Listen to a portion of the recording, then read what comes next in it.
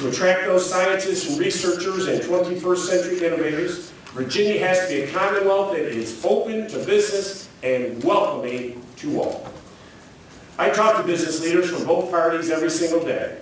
I constantly hear that politicians focusing on a social ideological agenda is not helpful for business.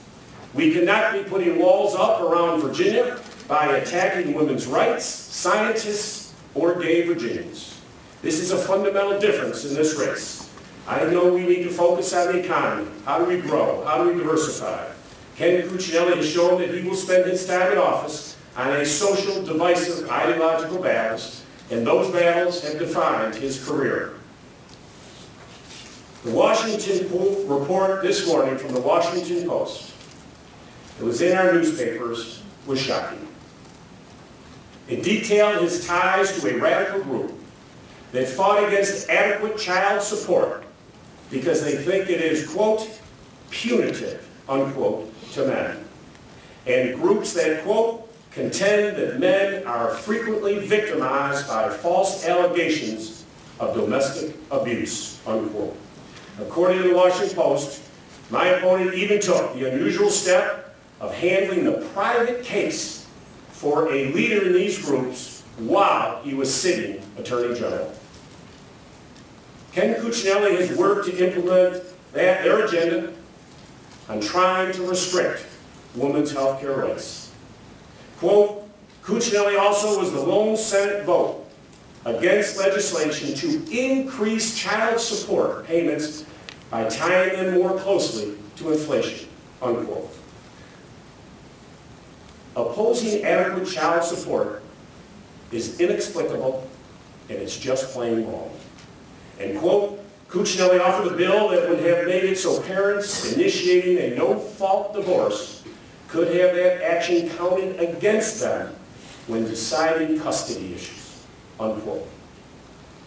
Why would you introduce legislation that could punish people who want to get out of a bad marriage? And quote, 47 state attorney generals sent a letter to Congress urging lawmakers to reauthorize the Violence Against Women Act. Cuccinelli was one of three who did not sign unquote. My opponent still won't explain what he dislikes so much about the Violence Against Women Act, but that group he is tied to believe that many women make up claims of domestic abuse. During this campaign, there are many issues where Ken Cucci and I have disagreed, and on some of them, I can at least understand his position, even if I don't agree with it. But the positions today laid out in the Washington Post on child support and the Violence Against Women's Act and on family law is just beyond my comprehension. And I believe beyond the comprehension of most Virginians. As governor, my bottom line is simple. We cannot move Virginia forward by holding women back. Women are 50% of the workforce of the United States of America. We need to be encouraging women from all over the globe to come to Virginia to help us build that new energy sector, to become the leader in cybersecurity, bio, and nanolife sciences. These types of policies are not just wrong, they're harmful and have serious consequences. Not long after he became Attorney General, Ken Cuccinelli sent a letter to colleges across Virginia trying to get rid of the non-discrimination policies for sexual orientation.